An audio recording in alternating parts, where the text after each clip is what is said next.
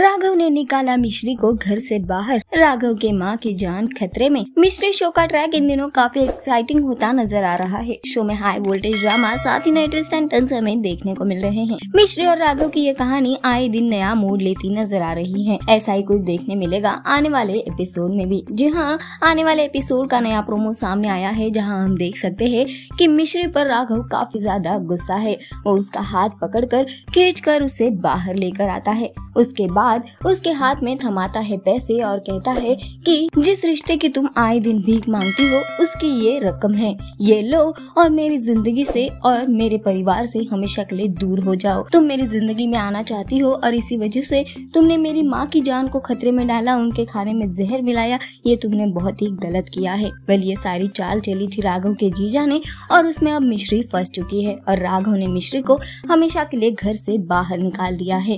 देखना काफ़ी इंटरेस्टिंग होने वाला है कि मिश्री अपनी सच्चाई सबके सामने कैसे लाती है। फ़िलहाल तो मिश्री की मुश्किलें बढ़ती ही नज़र आ रही हैं। आप कितने एक्साइटेड हैं आने वाले एपिसोड के लिए हमें कमेंट कर ज़रूर बताएँ। साथ ही शो से जुड़े तमाम लेटेस्ट अपडेट्स न्यूज़ गॉसिप्स जानने के लिए टेली इंडिया के साथ बने रहिए।